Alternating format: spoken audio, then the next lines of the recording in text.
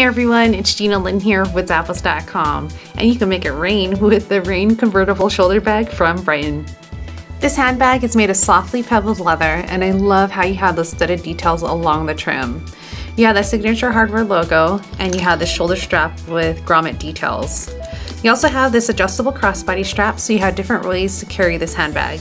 In the back, there's a big slip pocket where you can store your cell phone so you have easy access to it. Gotta make sure you're selfie ready. At the top, there's a zipper that leads to a nice compartment. Uh, at this back wall, there's a little zipper pocket.